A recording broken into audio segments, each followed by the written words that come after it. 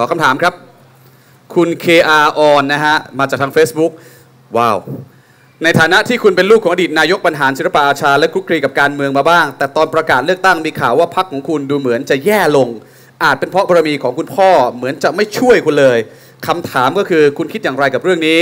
และพรรคของคุณจะไหวหรือไม่กับการเลือกตั้งที่ดุเดือดมากในครั้งนี้ เกี่ยวคุณพ่อเล็กน้อยครับสามนาทีใช้เต็มที่เชิญครับ ครับการที่ พักและครอบครัวขาดหัวเรือใหญ่ไปแน่นอนครับล้วนแล้วแต่เป็นวัฏจักรทางการเมืองพักการเมืองทุกพักในอนาคต อันนี้เราไม่ได้แช่งผู้หลักผู้ใหญ่นะครับแต่เดี๋ยววันหนึ่งก็จะต้องถึงการเปลี่ยนแปลงไม่ว่าจะเป็นพักใดเบืเงินคราวนี้เป็นของพักชาติไทยพัฒนาเสียก่อน วันที่คนชื่อบรรหารไม่อยู่แล้วจะเป็นอย่างไร ครอบครัวศิลปะอาชาไม่มีบรรหารแล้วจะเป็นอย่างไร เรื่องนี้เป็นเรื่องที่ทุกคนก็สงสัย ผมเองก็สงสัย ถามว่าวันนี้หัวเรือใหญ่ไม่มีกำแพงเมืองจีน ไม่มีโลกเกราะกำบังไม่มีแล้ว เป็นสิ่งที่ท้าทายไหมเป็นสิ่งที่ท้าทาย บารมีเป็นสิ่งที่ไม่สามารถเขียนเป็นพินัยกรรม ทอดต่อให้กับลูกได้ อันนี้ผมรู้ดี ดังนั้นทุกสิ่งทุกอย่างทุกก้าวย่างที่ผมกำลังก้าวย่างอยู่ทุกวันนี้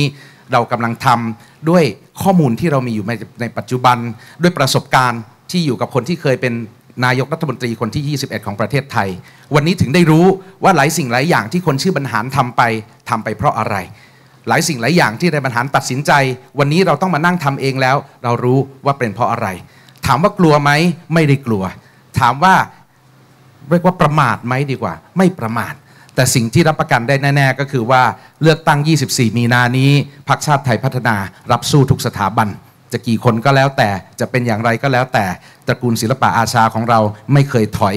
ถ้าจะโยนพระโยนโยนผ้ายอมแพ้ก่อนที่ระฆังจะดัง ไม่ใช่นิสัยของศิลปอาชาแน่นอน เย็นนี้สโมสรสุพรรณบุรีเอฟซีจะต้องไปเตะที่สุโขทัยผมเองก็ยังไม่ได้มีเวลาไปดูนะครับ แต่ว่าถ้าใครเคยดูฟุตบอลของสุพรรณมา เราไม่เคยยอมแพ้จนนาทีสุดท้าย นกหวีดยังไม่เป่า สงครามยังไม่จบอย่าเพิ่งรีบนับศพทหาร ถามว่าจากนี้ไปเส้นทางที่จะเดินจากนี้ เต็มไปด้วยอะไรบ้าง เต็มไปด้วยความท้าทายครับ ปัญหาเป็นโอกาสของสำหรับพวกผมสำหรับพรรคชาติไทยพัฒนา วันนี้โชคดีที่ยังมีผู้ใหญ่หลาย ๆ ท่านยังอยู่ในพักไม่ใช่อยู่ เพราะ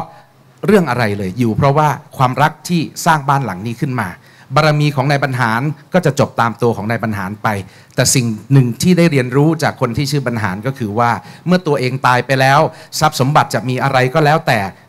บารมีจะมีมากเท่าไหร่ก็แล้วแต่ ก็จะจบไปเอาอะไรไปไม่ได้เลยแม้แต่อย่างเดียว ทุกวันนี้สิ่งเดียวที่ยังเหลืออยู่ในฐานะที่เป็นอดีตนักการเมืองที่ดูแลจังหวัดสุพรรณบุรีมา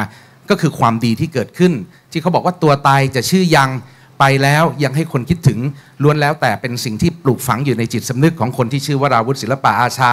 อยู่ในพรรคชาติไทยพัฒนาทุกๆ คน ดังนั้นวันนี้การทำงานของพรรคชาติไทยพัฒนา เราทำเพื่อประเทศชาติ เราทำเพื่อเป็นดิน เราทำเพื่ออนาคตของลูกหลานเรา เพื่อที่ว่าอีก 10 ปีจากนี้ไป เราจะได้ไม่ต้องมานั่งเถียง ไม่ต้องมานั่งเวทีดีเบต ไม่ต้องมาแบ่งฝักแบ่งฝ่าย ไม่ต้องมาแบ่งสีกันอย่างนี้อีก ดังนั้นวันนี้หวังว่าคงจะตอบคำถามได้นะครับว่าวันที่ไม่มีนายบรรหารแล้วพรรคชาติไทยพัฒนาจะเป็นอย่างไรสู้ไม่ถอยครับ